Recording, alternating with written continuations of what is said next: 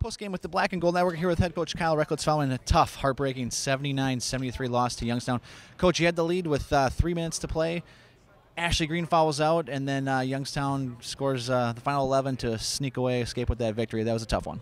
It was tough. You know, I felt like we had a lot of opportunities um, in those last three minutes to put ourselves in a position to win, um, and we didn't take care of the basketball. We had a majority of our turnovers right down the stretch um, when when the possession of the ball really really matters. Um, and I know we were trying to push, um, and so that's part of it.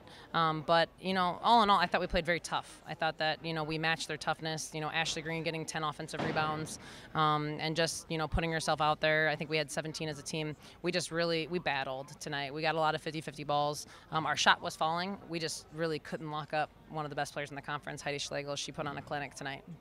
Uh, second half, um, we ended up getting down by 10 early, but your team never let them get a, uh, never let the game get away. Just fought back every time they needed a big shot. They hit one.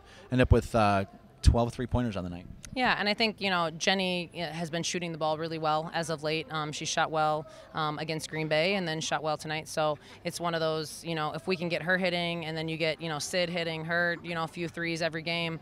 Um, if we can get a few of the other ones coming along, I think that that would really really stretch us out. We had to take a lot of threes tonight um, because of the way that they play their defense. They pack it in so much. So um, you know it's a it, I like to say we want to learn from this and, and hope that we have the opportunity to play them again because um, obviously we cut the difference from the first time we played them to this time.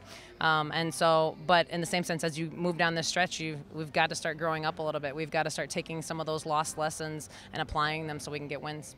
Well, you got the weekend off this weekend, so they'll give you some time to prepare for these huge final regular season games down the stretch. Yeah, and it's something you know I think that our players need, you know, to bond with their families a little bit, um, and it gives us a chance as a staff to kind of you know come back together and really decide you know what we need to work on as we hit down this final stretch. So it's very important, and hopefully Jenny can continue to play as tough as she's been playing over the last few games and and put up the numbers that she's been putting up. And then if we can get Ashley and some of the other ones to continue to come along, then then we'll be good to go.